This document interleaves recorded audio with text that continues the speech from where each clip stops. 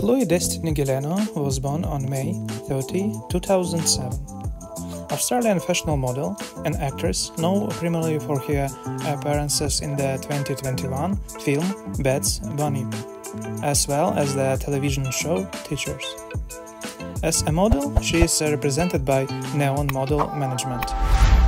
Due to her modeling popularity, she was accumulated over 240,000 followers on her Chloe Destiny G Instagram account.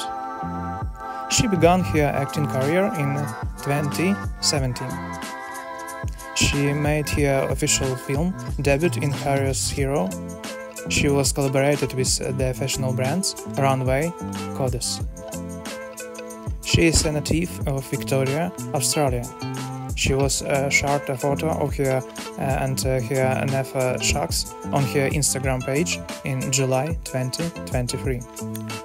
Thank you for joining us.